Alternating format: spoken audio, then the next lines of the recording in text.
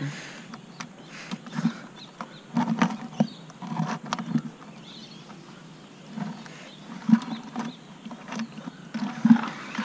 Okay guys, this is how to tie up a mud crab. To find a mud crab. Uh, full mud crab. Need one of these. A mud crab is 15 centimeters. Usually it's bigger by the two others.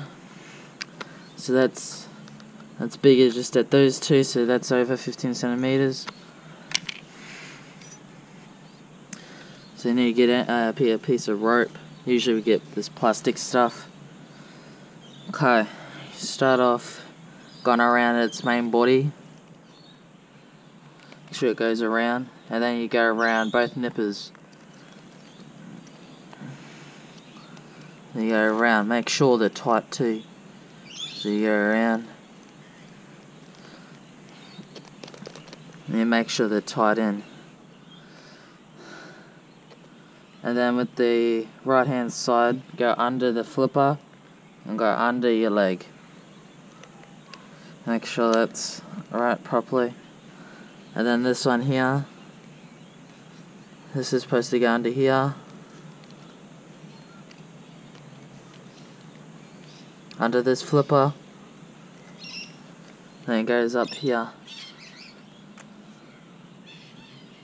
then the and then that's basically a tying part. Just make a a knot. Put your big toe over it. Another knot. And put that on it over. And another knot. That over. There you go. Your mud crab is tied. So he's a big rusty one. Caught him this morning at the creek nippers are full, big nippers, big crab. Alright, thanks. Comment, subscribe, like of this video. Bye.